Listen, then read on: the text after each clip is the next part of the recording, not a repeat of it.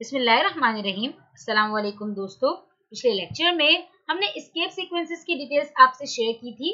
आज के लेक्चर में हम कमेंट्स को डिटेल में पढ़ेंगे। तो डियर फ्रेंड्स कमेंट से क्या मुराद है? ये किस तरह से काम करते हैं? इसको समझने के लिए हमें एक एग्ज़ाम्पल का सहारा लेना होगा। दोस्तों, आप मिसाल के तौर पर ये समझ लें कि आप एक प्रोग्रामर है और आपने पाँच महीने पहले कोई सॉफ्टवेयर बनाया था सी लैंग्वेज में और बनाकर एक कंपनी को सेल कर दिया। अब पाँच महीने बाद उस कंपनी के पास उस सॉफ्टवेयर में कोई एरर जनरेट होता है तो वो कंपनी आपसे कांटेक्ट करेगी, क्योंकि आपने वो सॉफ्टवेयर बनाया था और आपसे कहेगी कि सॉफ्टवेयर को देखें और एरर को ठीक करें। लेकिन क्योंकि आप तो उस सॉफ्टवेयर को बनाने के बाद कई और सॉफ्टवेयर बना चुके होंगे अलग अलग कंपनीज़ के लिए तो आपके लिए ये याद रखना मुश्किल है कि पुराने वाले सॉफ्टवेयर में कौन सी लाइन क्या काम परफॉर्म कर रही थी इसीलिए किसी भी प्रोग्रामर के लिए अपने ये सॉफ्टवेयर में एरर को ढूंढना भी मुश्किल होगा। लेकिन डियर फ्रेंड्स अगर हमारे पास कोई ऐसा तरीका हो कि हम अपनी ही लैंग्वेज में, अपने प्रोग्राम में हर एक स्टेटमेंट के आगे कुछ वर्ड्स लिख दें, जो कि उस स्टेटमेंट को एक्सप्लेन करें कि ये स्टेटमेंट क्या फंक्शनैलिटी परफॉर्म कर रही है, क्या काम कर रही है, जिसके ज़रिए सालों बाद भी अगर हम अपने कोड को देखेंगे तो उसे समझना हमारे लिए निहायत ही आसान होगा। और इसके लिए सी लैंग्वेज आपको जो एलिमेंट फराहम करती है, वो कहलाता है कमेंट्स और डियर फ्रेंड्स ये देखिए comments are something like notes in the code यानी आप सी लैंग्वेज के अलावा नोट्स के तौर पर अपनी लैंग्वेज में आप प्रोग्राम में कुछ लिखना चाहते हैं तो वो कमेंट कहलाएगा। इसके ज़रिए आमतौर पर कोड की लॉजिक को एक्सप्लेन किया जाता है ताकि बाद में जब आप अपने प्रोग्राम को देखें तो उसको इजीली अंडरस्टैंड कर सकें। और दोस्तों, ना सिर्फ़ आप, बल्कि अगर कोई और डेवलपर कोई दूसरा प्रोग्रामर आपके प्रोग्राम को देखेगा तो कमेंट्स की बदौलत उनके लिए भी प्रोग्राम को रीड करना और समझना दोनों आसान हो जाएगा। इसीलिए दोस्तों वी कैन से कि the comments increases the readability and understandability of the source code यानी आपके प्रोग्राम को आप बाद में कितनी आसानी से रीड कर सकते हैं, कितनी आसानी से समझ सकते हैं। इसके लिए कमेंट्स जो हैं, वो बहुत ही हेल्पफुल होते हैं। लेकिन दोस्तों कमेंट्स को आप अपने प्रोग्राम में किस तरह से यूज़ कर सकते हैं, आइए देखिए। तो दोस्तों कमेंट्स को आप दो तरह से अपने प्रोग्राम में यूज़ कर सकते हैं। या ये कह लें कि कमेंट्स दो तरह के होते हैं सिंगल लाइन कमेंट यानी अगर आप एक ही लाइन में कमेंट यूज़ करना चाहते हैं तो आप डबल बैक स्लैश का इस्तेमाल करेंगे। और दो बार बैक स्लैश टाइप करने के बाद, अब जो भी कुछ लिखेंगे, वो सी लैंग्वेज में एज अ कमेंट कंसिडर किया जाएगा। यानी दोस्तों, आप इस एग्ज़ाम्पल में भी देख सकते हैं। ये कहलाता है सिंगल लाइन कॉमेंट जो कि आप अपनी स्टेटमेंट के, हर एक स्टेटमेंट के सामने लिखते हैं।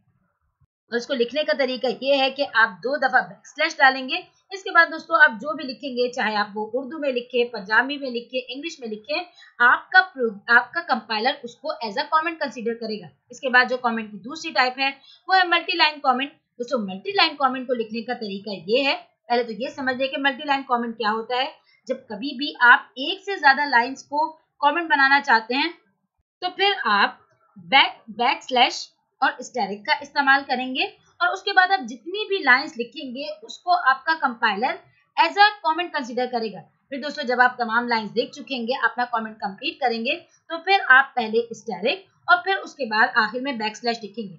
इसके बाद आप जो भी कुछ लिखेंगे, उसको आपका कंपाइलर कमेंट कंसीडर नहीं करेगा, क्योंकि यहाँ पर ये जो आपका स्टार्टिंग बैक स्लैश और स्टेरिक है, ये बताएगा कि यहाँ से आपका कमेंट स्टार्ट हुआ है, फिर जितनी भी लाइंस आप लिखते जाएँगे कंपाइलर उसको कमेंट कंसीडर करेगा, लेकिन जब आप स्टेरिक और बैक स्लैश लिख देंगे, आखिर में, यानी कमेंट को पूरा लिख देंगे, उसके बाद जब आप बैक स्लैश और स्टेरिक लगाएँगे तो फिर आपका कंपाइलर समझ जाएगा कि यहाँ से कमेंट जो है वो मुकम्मल हो चुका है, इसके बाद जो भी कोड होगा, उसको मुझे एग्जीक्यूट करना है। तो दोस्तों, याद रखिए कि कमेंट्स का फ़ायदा ही ये है कि सी का कंपाइलर कमेंट को एग्जीक्यूट ही नहीं करता, बल्कि जिस किसी स्टेटमेंट के आगे कमेंट लगा होगा, ये उस स्टेटमेंट को एग्जीक्यूट नहीं करेगा, बल्कि इग्नोर कर देगा।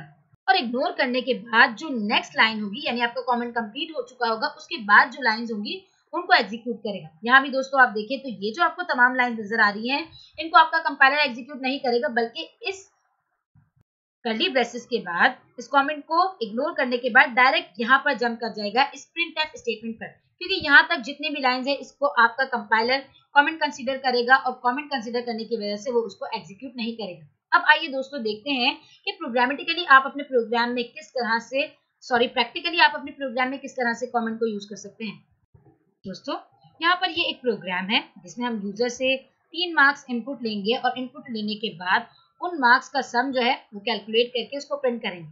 तो डेयर फ्रेंड्स अगर मैं इसको कमेंट्स के साथ लिखना चाहूँ तो यहाँ पर आप देख सकते हैं कि मैंने मल्टी लाइन कॉमेंट का इस्तेमाल किया है जहाँ पर ये बता रहा है कि ये जो आपका प्रोग्राम है ये का, क्या काम कर रहा है? तो यहाँ पर मैंने लिख दिया this program takes three numbers as an input and calculate the sum of these numbers और इस मल्टी लाइन कॉमेंट को लिखने के लिए मैंने सबसे पहले बैकस्लैश और स्टैरिक का इस्तेमाल किया है और इस कॉमेंट को मैंने बंद करने के लिए स्टैरिक और उसके बाद बैक स्लैश का इस्तेमाल किया है। तो डिफरेंस जब कभी भी आप इस तरह से चाहते हैं कि आप अपने प्रोग्राम को शुरू करने से पहले उसको डिफाइन करना चाहते हैं ताकि जो पढ़ने वाला है उसको आसानी हो कि ये जो प्रोग्राम है, ये काम क्या कर रहा है, ये ओवरऑल इसकी वर्किंग क्या है तो वो आप इस तरह से कर सकते हैं। लेकिन दोस्तों, अगर आप हर एक स्टेटमेंट के आगे भी बताना चाहते हैं कि ये स्टेटमेंट क्या काम कर रही है तो उसके लिए आप सिंगल लाइन कमेंट को यूज़ करेंगे।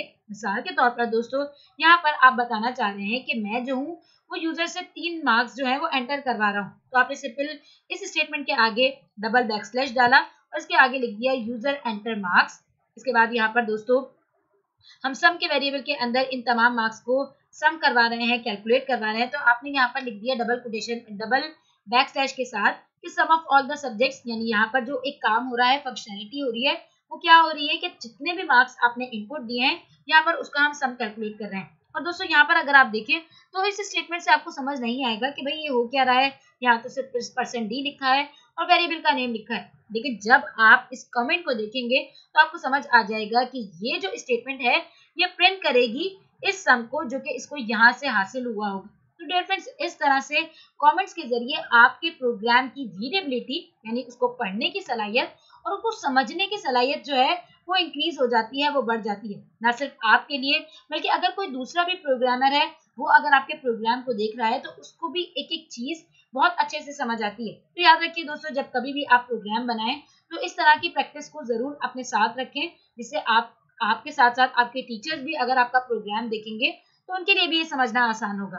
दोस्तों, यहाँ पर इस लेक्चर का अख्ताम हुआ, जिसमें हमने सीखा कि कमेंट्स होते क्या हैं, इनकी ज़रूरत क्यों पड़ती है, ये काम किस तरह से करते हैं और आप अपने प्रोग्राम में इसको किस तरह से यूज़ कर सकते हैं। यहाँ तक दोस्तों हमारे इस चैप्टर का भी अख्ताम हुआ, जिसका नाम था input and output statements in C language अगले लेक्चर में हम स्टार्ट करेंगे एक नया चैप्टर जिसका नाम है चैप्टर नंबर सिक्स तब तक के लिए अल्लाह हाफिज़।